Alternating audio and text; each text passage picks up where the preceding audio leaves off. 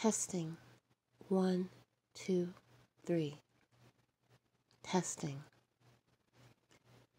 Fat Man and Little Boy. He has a cozy nickname Fat Man. A big bellied, far flung uncle returned, stuffed with stories and laughter, lifting us up to touch whatever we demand. The bouncy ball sun in a blue cotton candy sky, birds in retreat, and in his mother, our grandmother's garden in Nagasaki, the last fruit cradled among the highest, most dangerous leaves.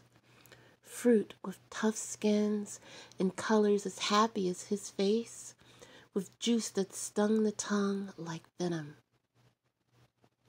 And when our touch falls short, he reminds us reach, reach, don't worry. I've got you.